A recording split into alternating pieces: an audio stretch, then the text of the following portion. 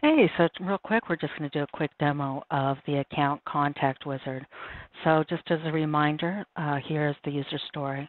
As a Salesforce user, I need a single place to enter account and contact information so that I may more efficiently enter contact, or constituent, excuse me, and organizational uh, data.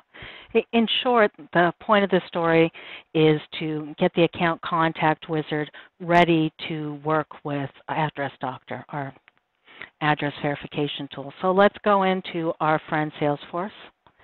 And according to the story, I should be able to click on accounts. We're just waiting for it to load. We are in dev. And now I'm going to click on new. And here is the households. I can choose households or organization. I'm going to hit continue. And I can then, you know, enter information. Again, it's not tied up right now with, uh, let's do a Holly Weird zip code. It is not uh, tied up with Address Doctor. That'll happen in a future story.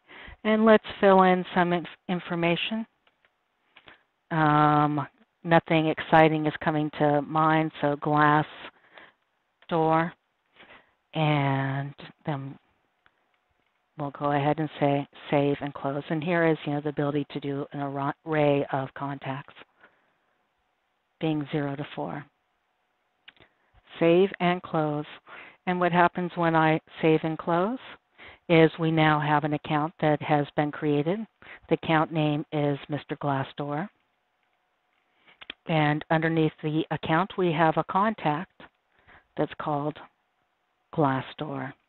And the information is indeed um, created as expected. So we have the original, the functionality here. So if you have a chance, please take a look and go to our friend Feature Accepted and toggle that off.